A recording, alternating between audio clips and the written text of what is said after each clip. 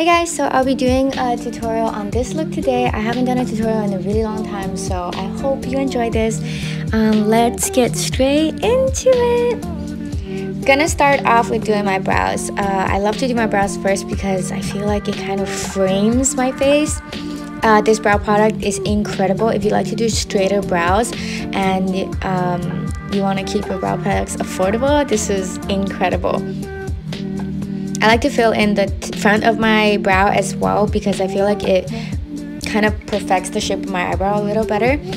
Um, I'm going in with primer. This is from Huda Beauty. The packaging is incredible, but um, there is alcohol in it and it's pretty high up on the ingredient list, so I don't know how to feel about that. Uh, but their foundation is incredible. This foundation is my favorite foundation of all time and I don't even like foundation in general but this the texture the finish everything is incredible about it and um, I'm amazed. I'm going in with concealer. I'm going in with a shade that is quite similar to my skin color but it's actually slightly darker or I should say more orange. I find that it covers my dark circles perfectly that way I'm going in with this powder from Florasis. Um, it's a very luxurious product. It makes you feel like a crazy rich Asian, if you know what I mean. I love it. It's incredible. And it's a really nice texture too. I'm going in with these Kaleidos makeup palettes. One is a cheek palette, one is a contour palette. And I'm using this blush. It doesn't really show up in the beginning, but if you keep packing it on, it comes together. And it's not that it's not pigmented. This shade is just not very obvious on my skin color. I'm going with this um, cool toned contour shade and I'm kind of contouring, um, but I'm using a very light hand. This is my favorite highlighter. Just need I say more? You can you can see that. the highlight on the nose, everything to me, everything to me. Um, I was recently sent this palette and I am so incredibly excited. Um, it's a very, very unique palette, and I know it doesn't look like one because it's kind of like a neutral palette, but um, trust me, it's very unique. But I'm gonna do my liner first because um, of this particular look I'm trying to do. I need to make sure that the liner looks good. So I'm using my NYX Epic Ink Liner. And please don't be scared to mess this up. I'm gonna fix it up later, but I, I really do mess it up quite a bit in the beginning.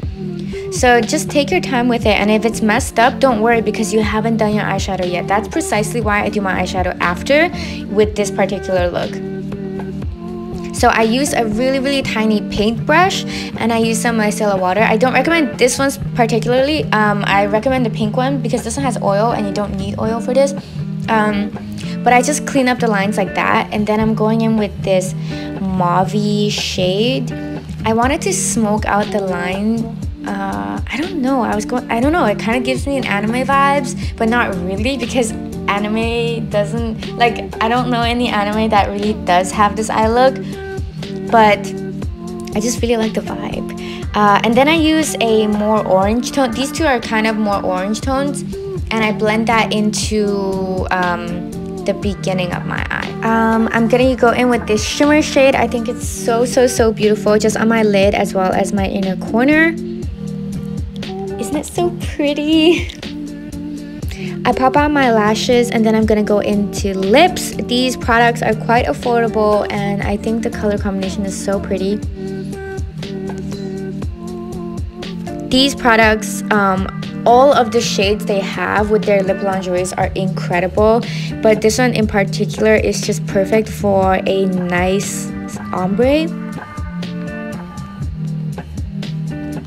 And that's honestly the end of this video. Thank you guys so much for watching. I really hope that you enjoyed it. Um, I haven't done videos in a long time, so please let me know what you want to see and please let me know if you like this video at all.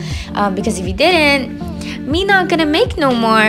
Um, I'll just stick to making different types of content. But anyways, thank you so much for watching. I love you. Bye!